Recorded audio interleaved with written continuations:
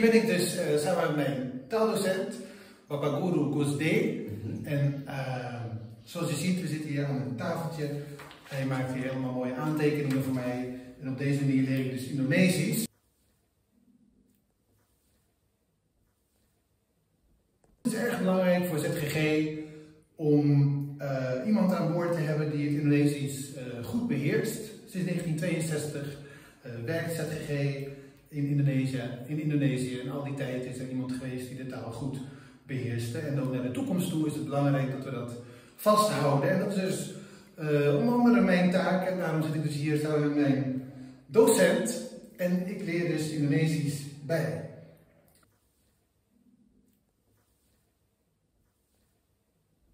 Uh, elke morgen zit ik dus hier. En uh, de manier van lesgeven is eigenlijk als volgt. We gaan zitten. Ik ga, we gaan met elkaar praten. Dat kan over alles zijn. Over politiek of over religie of over. Nou ja, dat maakt eigenlijk niet uit. En iedere keer als mijn docent iets hoort wat ik niet goed benoem, of, een structuur, een zinstructuur die niet klopt, dan schrijft hij iets op. Nou, je kunt zien, hij schrijft heel erg veel, dus ik me er alles aan.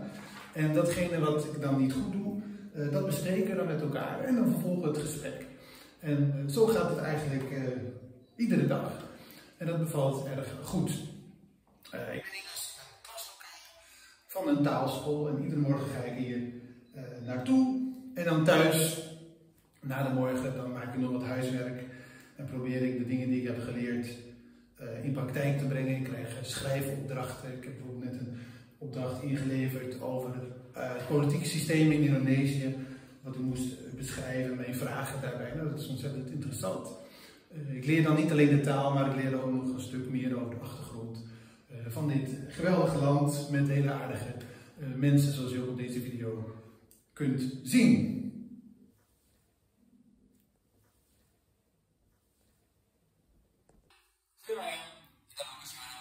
Or the, the students call me Mr. Guste or Guru Guste. I'm here in uh, Indonesian language teacher for uh, Cinta Language School. Uh, Been, I've been teaching for like eight years now and here with me, Mr. Yan. Uh, he's a well, uh, yeah, well-developed student.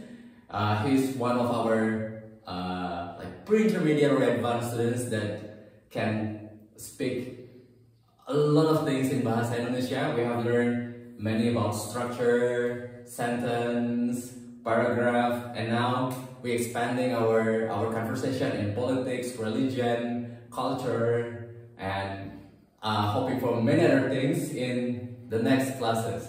Okay, thank you very much. Terima kasih.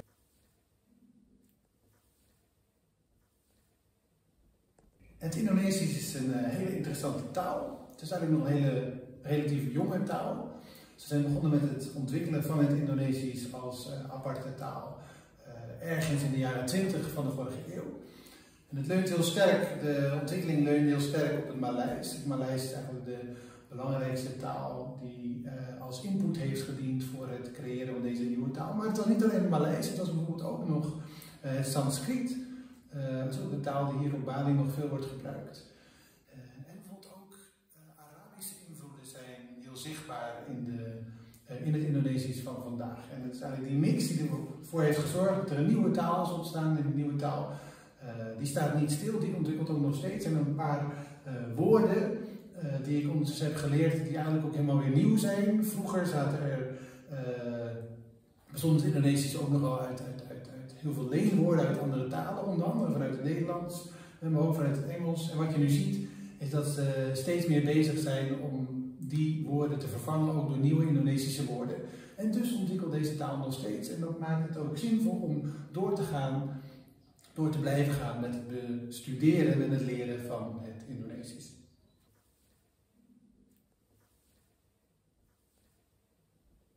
De zusterkerk op Papua heeft gevraagd of ik uh, tijdens uh, mijn bezoek aan hen uh, over een dag of tien een bijdrage wil geven over het evangeliseren in um, een digitaal tijdperk.